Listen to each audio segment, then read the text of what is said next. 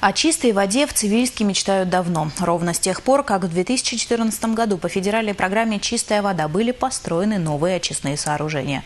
Построены, но не введены в эксплуатацию. В ситуации разбирался в Рио глава республики.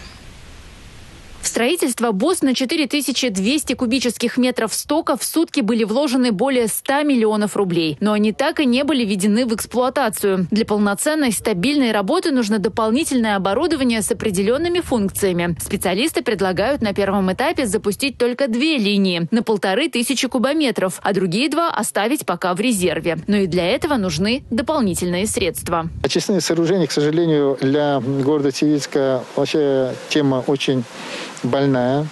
Уже э, много лет э, очень э, так остро обсуждаемая.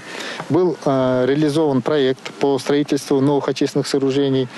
Были вложены достаточно большое количество бюджетных денег, но, к сожалению, работы до конца не завершены. В ближайшее время планируем двигаться по двум направлениям. Первое либо достройка этого объекта за счет применения уже более современных технологий, второе, а, более кардинальное, строительство новых очистных сооружений. Но мне кажется, первое более приоритетное, потому что те а, объекты, которые на сегодняшний день э, построены в рамках этого большого проекта, они возможны для того, чтобы использовать их в, составе комплекса очистных сооружений.